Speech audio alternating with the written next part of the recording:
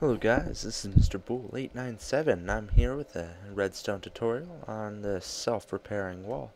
I haven't really seen any tutorials on these, so I thought I would make one. Now first I'm going to demonstrate it. You see, you have just a normal stone wall. You break one and it repairs itself. This works pretty good, except for you can get a bit too fast for it, but for the most part it heals itself pretty well. Alright, now moving on to the tutorial. First off, I'm going to start with the smooth stone generator. Unlike uh, most of these repairing walls that I've seen, I've figured out how to make it with a smooth stone generator, while most just use normal cobblestone. However, there is a few issues with the smooth stone generator when you're trying to make it into this little wall here. So first off, you're going to start with a little L shape like so. In this first one here, you can break that and just replace it with a piston. Alright, then make a little frame out of this stone here. Let's build it all the way up around the L.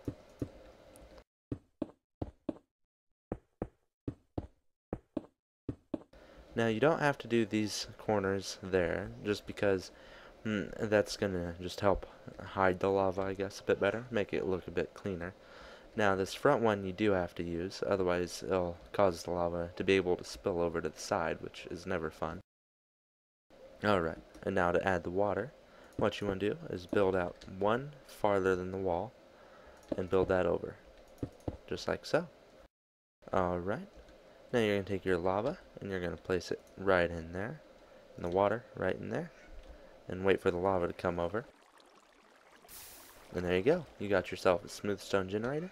Works really, relatively well, just like that. Now, if those blocks aren't there, it's going to cause the water to spill out. But we'll always have blocks there just because it's connected to that piston, and it'll keep pushing it out, which is going to help us build our wall later. Alright, now what you want to do is hook up this piston here to a clock. So I'm going to come down over here. I'm going to dig under until I find my piston. There it is. So I'm going to grab my repeater here. I'm going to place it right there. I mean, wrong block. What you want to do is bring it back one and replace the repeater under that block. That way, you're powering the block that's directly beneath the piston. Alright? Now, after we get that done, what you want to do is, I'm going to go ahead and just dig out here. I like to put this thing underground as best I can. Alright, now what you want to do is use six repeaters, just like so. Place all of them on full delay. So let's go ahead and do that. Alright, then you're going to hook it up, just like any other clock, and then just place a redstone torch there, and there you go. You got your clock all hooked, set up now. So just take your redstone and lead it to that repeater. And you're going to need a block behind the repeater. And you can just lead it down like so, and that way you'll be able to cover it up pretty good. To make sure it's working, just come on over here, and as you can see, it'll just push it out for 13 blocks. Alright, now all you have to do to cover this up, especially if you leave it in just like that, is just cover up that hole. Just make sure you do not cut off that power right there. I'm just going to leave it as it is so I can show it a bit better later. Alright, now what we're going to need to do is place our pistons for the first side. So I'm just going to break one of those and just work my way down like so. Alright guys, our next step is going to be to hook up these pistons here to a clock as well. So you're just going to place them like so, all the way down, and then grab your redstone dust and lead it all the way back. Alright, and how I like to do these is with six uh, repeaters, just like so, which really you don't even need that much if you know how to count your delays because we're just going to leave them on a single delay. And then I'm going to lead this into that first one there and place another repeater right here to make sure it reaches the end because it likes to be picky sometimes. And then put a charge in it. There you go.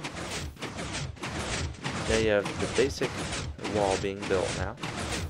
So what you want to do is wait until that extends fully out and see how far it is which if you know how pistons work, you can figure it out pretty easily.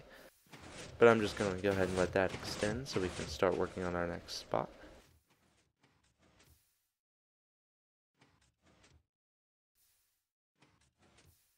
Alright. Now you'll see that it stopped with that piston. That's because the piston reached its maximum push limit, and therefore right here is where you're going to need your last pistons. So just place one under like so,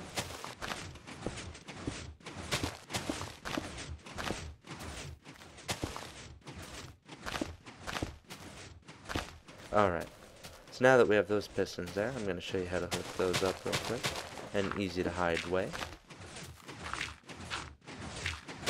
Let's just clean all this out right under here real quick.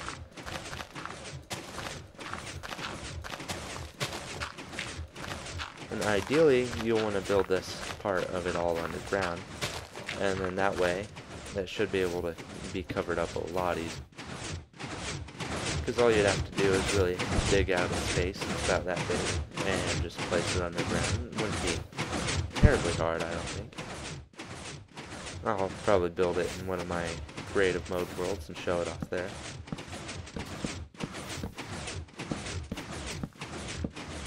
Alright, now what you want to do is grab those repeaters and just run redstone dust all the way down, just like that.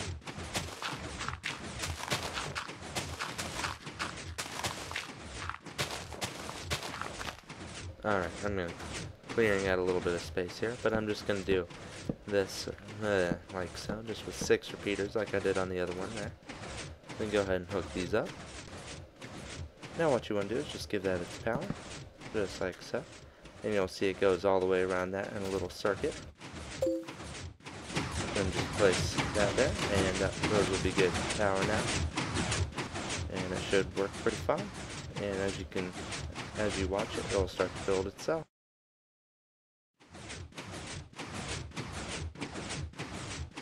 There are a few issues, uh, such as this little glitch here that I just now noticed, that farther away I keep getting, then it, it just gets kind of laggy. But I'm guessing it's my video recorder, because this other one is working pretty fine.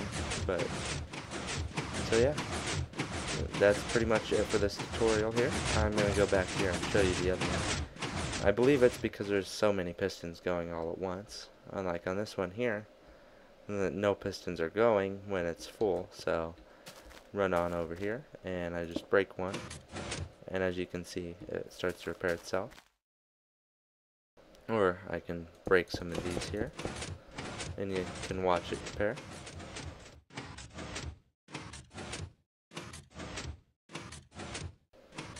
alright so as you can see it's going to start repairing itself and it's getting a bit laggy again but it's just video recorder because it, it like slow down games just a little bit so alright that's it for this video tutorial. Uh, please leave comments and uh, suggestions for future videos.